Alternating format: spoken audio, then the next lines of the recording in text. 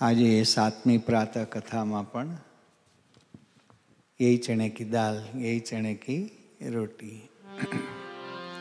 હા અનુભવી આનંદમાં ભ્રમ રસના ભોગી રે. હા અનુભવી આનંદમાં જીવન મુક્ત જોગિયા અંતર અરોગી રે. જીવન મુક્ત જોગિયા અંતર અરોગી રે. અનુભવી આનંદમાં ભ્રમ રસના ભોગી રે. હાય, અનુભવી આનંદમાં ભ્રમ રસના ભોગી રે. શું કહે છે? હા, જ્યાં લગી જગ વિસ્તર્યો મૃગ તૃષ્ણા પાણી રે. હા, જ્યાં લગી જગ વિસ્તર્યો મૃગ તૃષ્ણા પાણી રે. તેમાં મોહન પામે મહામુનિ સ્વપ્નો પ્રમાણી રે. તેમાં મોહન પામે મહામુનિ સ્વપ્નો પ્રમાણી રે. અનુભવી આનંદમાં ભ્રમ રસના ભોગી રે હા અનુભવી આનંદમાં ભ્રમ રસના ભોગી રે શું કે છે આ બીજી કડીમાં? મુક્તાન સ્વામી, જ્યાં લગી જગ વિસ્તર્યો મૃગતૃષ્ણા પાણી રે. તેમાં મોહન પામે મહામુનિ સ્વપ્નું પ્રમાણી રે. આ કડી ઉપર આપણે ઘણું નિરૂપણ ગઈકાલે થઈ ગયેલું છે. મુક્તાન સ્વામી કહે છે કે આ જ્યાં લગી જગ વિસ્તર્યો, ઠેઠ પ્રકૃતિ પુરુષ સુધીની આખી સૃષ્ટિ છે. અનંત અવતારોના ધામો, દેવતાઓના સ્થાનો અને અનંત વૈરાટ નારાયણો એમાંથી પ્રગટ થતા અવતારો, એમાંથી પ્રગટ થતા બીજા દેવતાઓ, પ્રજાપતિઓ, પછી મનુષ્યો, પશુ, પંખી, જળચર, સ્થળચર અને વાયરસ બેક્ટેરિયા સુધીનું સમગ્ર તંત્ર બધું. અને આ જળ ચેતન સમગ્ર સૃષ્ટિ પાછી. જ્યાં લગી જગ વિસ્તર્યો મૃગ તૃષ્ણા પાણી રે. ઝાંઝવાના જળ છે, સાચું પાણી નથી. તરસ છીપે એવું પાણી નથી. મૃગલા છે ને ઝાંઝવાના જળ દેખાય ને ક્ષિતિજમાં, ઓહો, હો હો મોટા મોટા તળાવ ભરેલા છે. તરસ્યા હોય બિચારા દોડી દોડીને જાય છે આમાં. હમણાં આ બે દિવસના તરસ્યા છીએ, તો હમણાં આપણી તરસ ભાંગશે શાંતિ શાંતિ થઈ જશે. જેટલા દોડીને આગળ જાય એટલું દૂર ને દૂર પેલું. ગુણાતીતાન સ્વામી કહે ભૂદેવ વહેલી સવારના ભાતું લઈને ચાલ્યા હતા પદયાત્રા, એક ગામથી બીજે ગામ. હવે આ ઝાંઝવાના જળ દેખાયા ને એટલે એકદમ, ઓહો, ખુશમાં આવી ગયા. તો એક રબારી સામો આવતો હતો એ કે ભૂદેવ, કેમ ખુશમાં છો એકદમ? તો કે ખુશ ના થઈએ કે જો આ તળાવ આવે છે, હું વહેલી સવારનો ચાર વાગ્યાનો નીકળો છું. હે, અને ઉનાળા, કાળા ઉનાળાનો આ બધો તાપ ને બધું, ગરમી ને બધું. તો કે હે, આ આ પાણી, આ તળાવ આવ્યા છે, હે નાશું ધોશું, શાંતિથી ઠંડક કરશું. અને ગાળેલું પાણી પીશું ને ઝાડ નીચે બેસી અને બપોરા કરશું તો ખુશી ના થઈએ? લોકો હૈયું ફોડમાં જોડા ફેરીને ચાલ્યો આવું છું. અને આ દેખાય છે ને તો ઝાંઝવાના જળ છે એમ. મુક્તાન સ્વામી કહે છે કે હૈયું ફોડોમાં. પ્રકૃતિ પુરુષ સુધી રાખના પડીકા ગુણાતીતાન સ્વામી કહે છે. સ્વામી કે સો કરોડ રાખના પડીકા એશિસ એશ રાખ. એના પેકેટ્સ તૈયાર કર્યા હોય. કેટલા? સો કરોડ. પછી સ્વામી કહે કે કંઈક જરૂર પડે ત્યારે કાઢીએ, તેમાંથી બીજું કંઈ નીકળે? એમ સ્વામી કહે છે કે પ્રકૃતિ પુરુષ સુધી રાખના પડીકા જ છે. આ ગુણાતીતાન એનો શબ્દ. યજ્ઞેશ્વરદાસનો શબ્દ નથી. અને મુક્તાન સ્વામીએ સ્વપ્ન સમાન કહ્યું આ. જનક રાજાને પણ ગુરુ અષ્ટાવક્ર ઋષિ આ જ કહ્યું, સહેજ પલંગમાં પોઢ્યા હતા પણ સ્વપ્ન આવ્યું ભિખારી થઈ ગયો. અને ભીખ માગ માગ કરે પણ કશું મળે નહીં. અને ઠીકરું હતું, ભીખ માગવાનું એ તૂટેલા જેવું હતું. રામપાતર કે ને એટલામાં કોકે દયા કરીને કંઈક ખાવાનું આપ્યું. વિચાર કરે છે કે કંઈક શાંતિથી એક જગ્યાએ બેસીને અમારી ભૂખ ભાંગું. હવે સાંકડી શેરી તેને બે બાહુથી આખલા. આખલાઓને વેર હોય ને પાડા ખારનું વતનામૃત છે આખું. એને પરસ્પરે બહુ વેર હોય, કારણ કે મૂળ તો કામ વિષયની આસક્તિ છે. એટલે એકબીજા જોડે આ વેર હોય છે. એકબીજાને મારી નાખે, ત્યાં સુધી લડે આખલા, પાડા. તો આવા માતેલા સાંડ આખલા, એક આ બાજુથી પેઠો બીજો આ બાજુથી પેઠો. અને બેને વેર હતો. જનક રાજાએ જોયું કે આ તો સેન્ડવિચ તો એમ પતી જ જશે અહીંયા. એટલે કોટો હતો ને, કૂદીને ચડી ગયા એની ઉપર. એમાં સ્વપ્ન ભંગ થઈ ગયો. આ ભાઈમાં ને ભાઈમાં ફફડાટમાં ફફડાટ સ્વપ્ન તૂટી ગયું. જાગ્યા એટલે જે બંદીજનો સંગીતવાળા બધા, ભાત ભાતના મધુર વાજિંત્રો રાજા મહારાજા જાગે અને છડીદારો છડી પોકારે. અને મંગળ ગીતો ગવાય. આ વિચારો પડી ગયા બેઠા થઈને કે આ શું બધું? હમણાં તો ભીખ માગતો હતો. અને આ બધી દશા થઈ હતી મારી. જ્યારે સ્વપ્નમાં માણસને ભૂખ લાગે ને, તો જમીને સૂતો હોય ને દબાવીને તોય સખત ભૂખ લાગે. મારો અનુભવ છે કે રાત્રે વાળું પાણી કર્યા હોય ને, પણ જો સ્વપ્ન એવું લાગ્યું, સ્વપ્નમાં ઉપવાસ છે ને એવું લાગે ને તો લિટરલી ફિઝિકલી ઉપવાસ હોય એવું લાગે. સ્વપ્નમાં સ્વપ્નમાં પણ કે આપણને સખત ઉપવાસ લાગ્યો છે એવું લાગે. આ સ્વપ્નાવસ્થાને જાગ્રત ને બધું આ કનેક્શન હોય છે અંદરનું. તો આ સાચું કે આ સાચું? રાજસભા ભરી તરત જ બધા પંડિતોને બોલાવ્યા અને વિદ્વાનો બધા એમના, આ સાચું કે આ સાચું? પ્રશ્ન પૂછે, પણ કોઈથી યથાર્થ ઉત્તર થાય નહીં? એમાં અષ્ટાવક્ર ઋષિનો પ્રવેશ થયો એ રાજસભામાં. અષ્ટાવક્ર એટલે આઠે અંગે વાંકા. આ કલ્પનાથી મને કેટલી વાર જોવામાં આવેલા છે હમણાં બધા અંગો વાંકા જ હોય, વાંકા ચૂકા. અને આમ ચાર પગે જતો હોય, બધું જ વાંકું ચૂકું હોય. આમ આમ, મહાપરાણે પૂર્વના કંઈક એના હશે એવા પાપ કરવા બધું ભોગવવાનું આ દેહ કરીને. એટલે એનો પ્રવેશ થયો ને એટલે કઢંગુ શરીર આખું, બધા અંગો વાંકા ચૂકા. એ રાજસભામાં બધા હતા ને, બધા જોઈને હસવા માંડ્યા. તો બધાને હસતા જોઈને રાજા જનકને હસવું આવી ગયું. પણ આ તો મહાજ્ઞાની પુરુષ હતા. એટલે આવ્યા.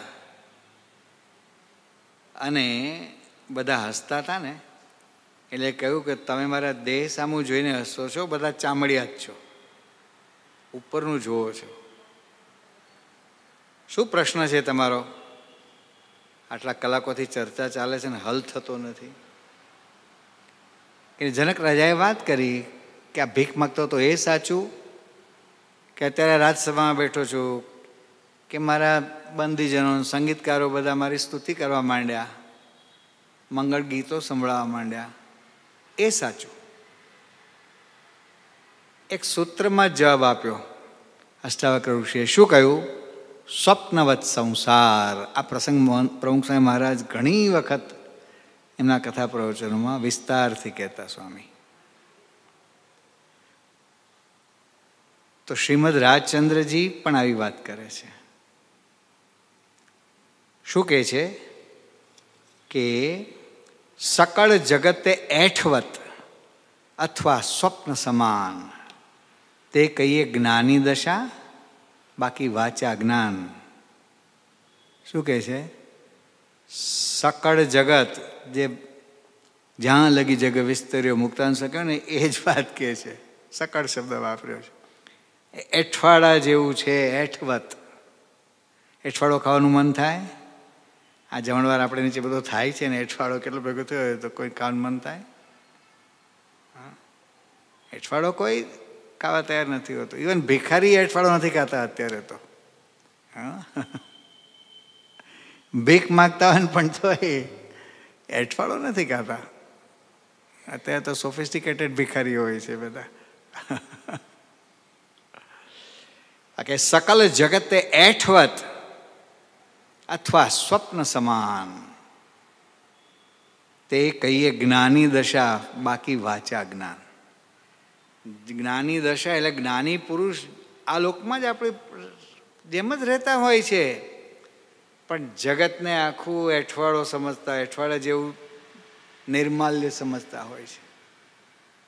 અને સ્વપ્ન સમાન. જનક રાજાએ પૂછ્યું કે કેમ સ્વપ્નવત? તો કે પેલું ભીખ માગતા હતા એ સ્વપ્ન ક્યાં સુધી સાચું હતું? સ્વપ્ન ભંગ થયો નહીં, ત્યાં સુધી આંખ ખુલી નહીં, ત્યાં સુધી આંખો બંધ હતું, ત્યાં સુધી એ સાચું હતું. આંખો ખુલી એટલે આ સાચું લાગે પણ આ સપનું જ છે. પેલું પાંચ પંદર મિનિટનું હોય. અને આ પાંચ પચાસ સાઠ સિત્તેર એસી સો વર્ષનું હોય, પણ છે સ્વપ્ન સમાન. તે કહીએ જ્ઞાની દશા. બાકી વાચા જ્ઞાન, વાતોડિયો જ્ઞાન છે. ડૉક્ટર સ્વામી છે ને ત્યાં કેનેડામાં હતા. અને પછી કંઈક વાત નીકળી કાર્યકરો જોડે બીજું ત્રીજું તો કે આ ફલાણા સ્વામી જે છે, એ તો પ્રવચનો બહુ કરે છે, આમ ઇન્સ્ટન્ટ કરે છે ને કોઈ પણ સબ્જેક્ટ હોય બીજું ત્રીજું ડૉક્ટર સાહેબ કે એ વાતોડિયન છે કે વાતોડિયન જેમ એકોડિયન છે ને પેલું વાજિંત્ર. હાર્મોનિયમ જેવું હોય પણ એ આમ ઊભા ઊભા વગાડવાનું અને પેલું વેસ્ટર્ન ઇન્સ્ટ્રુમેન્ટ છે. તો ડૉક્ટર સ્વામીનો કોઈન કરેલો શબ્દ છે કે વાતોડિયન છે કે હા હા બાલકુ સ્વામી કે વાતોડિયો છે. સંત સ્વામી કહેતા કે વાતોડિયો નિશ્ચય, વાતો બહુ કરે. પણ વર્તનમાં હોય નહીં. મોટા પુરુષમાં આપી લે તરત. કે આ બધું જ્ઞાન કથે છે, પણ કેટલામાં છે આ? આપી લે. એટલે વાતોડીઓ નિશ્ચય ને વાતોડી, વાતોડિયન બનવાનું નથી અમારે, તમારે બધાએ અંદર ઉતારવાનું છે. વર્તનમાં આવે ને એ જ્ઞાન કહેવાય. બાકી વાતો. મહંત સ્વામી મહારાજ વર્ષો પહેલાં વાત કરતા જૂના અક્ષરભુવનમાં. ઘણી વાર સાંભળ્યું છે એમના મુખે. કે એક વ્યક્તિ મુમુક્ષુ હશે પોતાની રીતે, નવા નવા આવેલા. તો એક મહિના સુધી કથા વાર્તા સાંભળી. રેવાની સભા, ઉત્સવો, બીજું ત્રીજું. પછી છે ને એક વખત આવીને મોહન સ્વામી મહારાજની સામે બેઠા. કે મેં તમારામાં બી એપીસમાં સ્વામિનારાયણમાં જોઈ લીધું કે. તમારે ત્યાં વાતોનો મહિમા છે ને મહિમાની વાતો છે કે. જોજો આ. શું છે? વાતોનો મહિમા છે. અને મહિમાની વાતો છે. આના સિવાય કશું નથી. જો આ નાસ્તિકતામાંથી આવેલા શબ્દ છે. તો કથા વાર્તાનો મહિમા છે જ. વાતો એટલે કથા વાર્તા ખોટી નથી. બધી સત્ય વસ્તુ છે. અને વાતોનો મહિમા પણ છે ને મહિમાની વાતો પણ છે. ગુણાતીતાન સ્વામી કહ્યું કે ભગવાન અને સાધુના મહિમાની વાતો નિરંતર કરવી અને સાંભળવી. પહેલા પ્રકારની પહેલી જ વાત શરૂઆત જ ત્યાંથી થાય છે. જો વાતોનો મહિમા છે અને મહિમાની વાતો પણ છે, પણ પહેલા ભાઈ જે અર્થમાં છે ને એ કટાક્ષમાં કહેતા હતા. કે વાસ્તવિકતા કાંઈ નથી, અહીંયા બધી વાસ્તવિકતા છે. આકાશમાં ભડાકા છે જ નહીં. અટકરના ફાટિયામાં ચોડીને આપણે ખાતા જ નથી. શું? અખાએ કહ્યું ને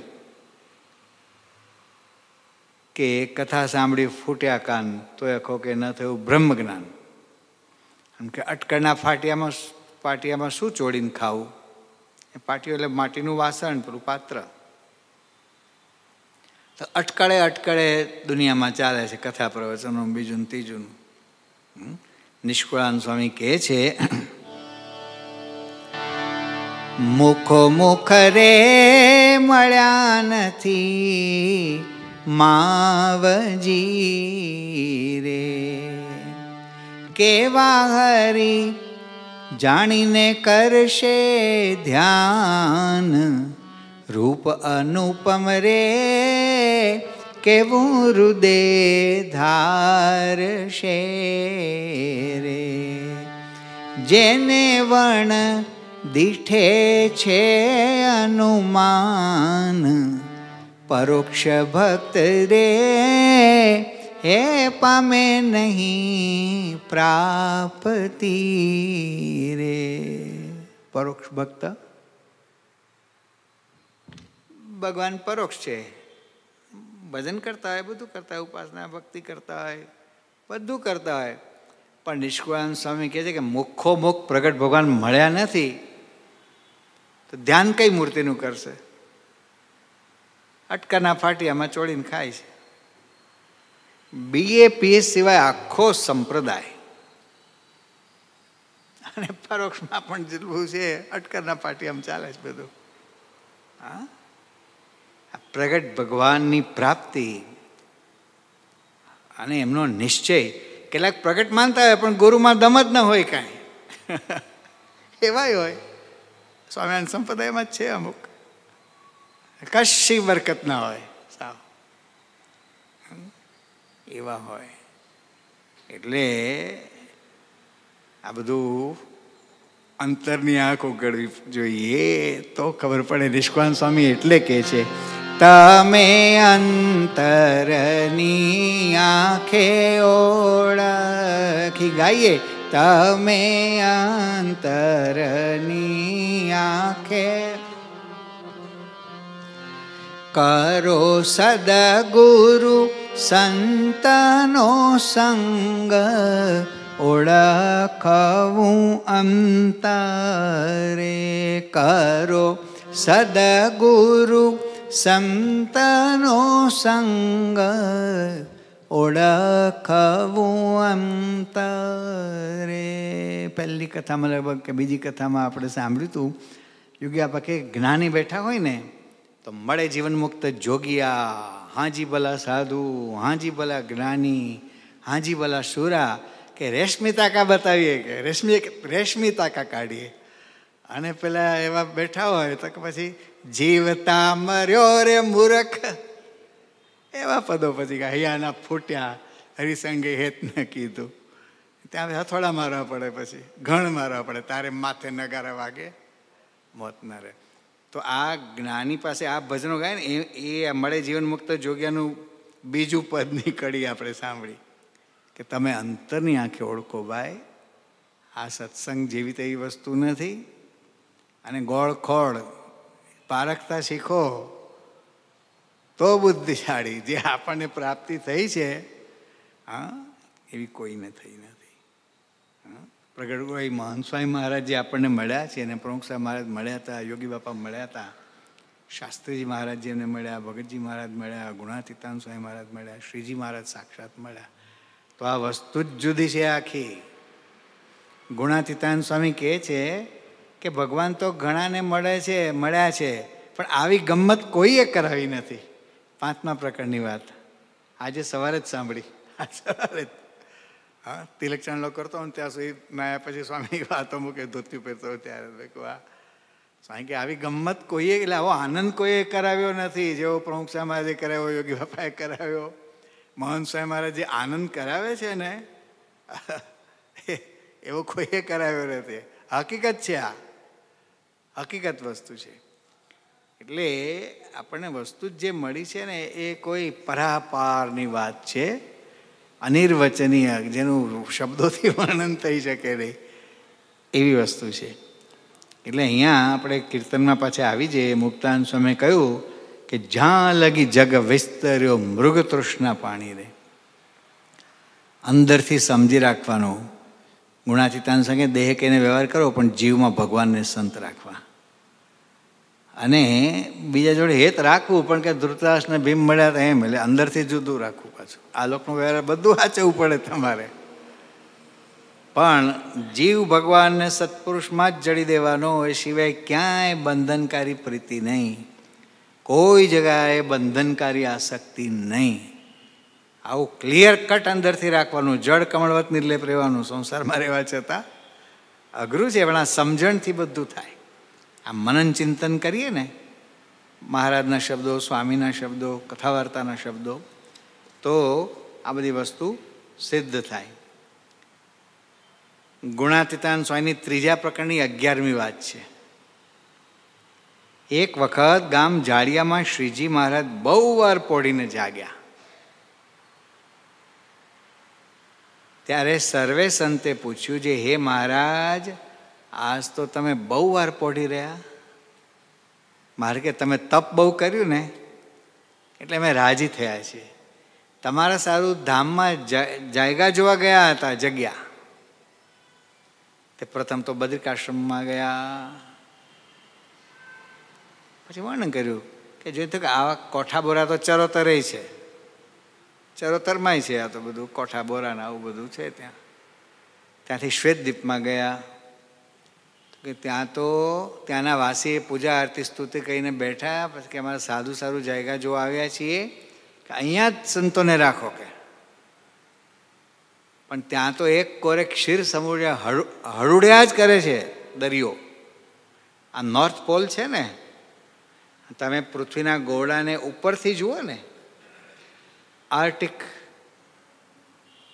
ઓશિયન પછી જે નોર્થ પોલ સુધી જે બધો બાજેલો છે બરફ, યુગોથી, એવો એન્ટાર્ટિકામાં તો ઉપરથી જુઓ ને, એ શ્વેતદ્વીપ છે.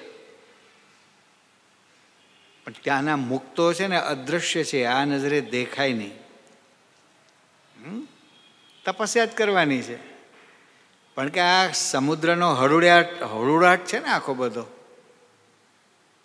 એમાં ભગવાન ભજવાનું સુખ ના આવે.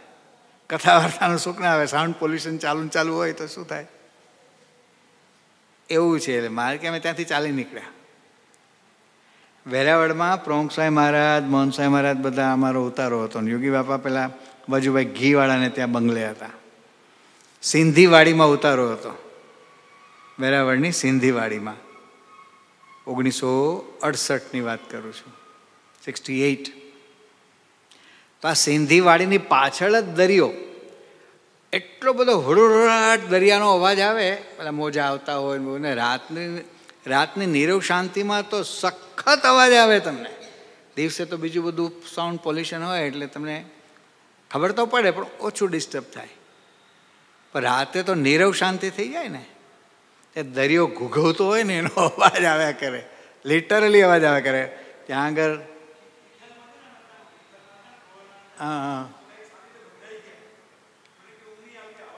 અવાજ બહુ આવે છે. તિથલમાં આપણું મંદિર દરિયા કિનારા ઉપર જ છે એકદમ.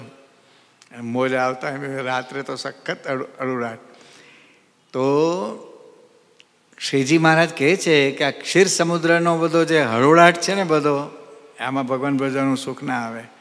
શ્રીદીપના મુક્તોને ચાલે. પણ મારે કે મારા સાધુ માટે લે ત્યાંથી પછી આગળના ધામ બધા નામ ગણાવ્યા છે. કે આ ફલાણા ધામમાં ગયા. કે ત્યાં તો કે ચાર ભુજોને, સ્ત્રીઓનો પ્રસંગ.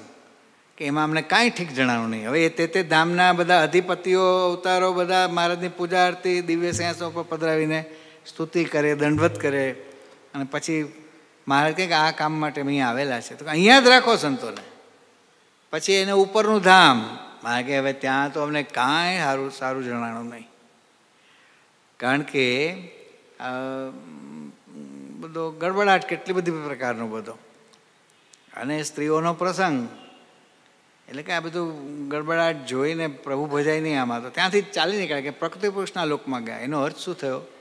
બીજું બધું જે છે ને, પ્રકૃતિ પુરુષથી નીચેના છે, અવતારોના ધામો બધા. ત્યાં તો કે પુરુષને પ્રકૃતિ દેખાણી. એટલે એ લોક જોઈને પહેલાં કે બહુ રાજી થયા કે અહીંયા સાધુને રાખીએ. પછી કે ત્યાં તો પુરુષ અને પ્રકૃતિ દેખાણી તમે પ્રકૃતિને પૂછ્યું જે, તું ધોળી કેમ છો? ના, પુરુષ કાળો કેમ છે? તો કે, મારામાં જોડાયો, એટલે મારા, મારામાં શ્યામતા હતી, એના માગીને એનું રૂપ મારામાં આવ્યું છે. એક્સચેન્જ થઈ ગયું.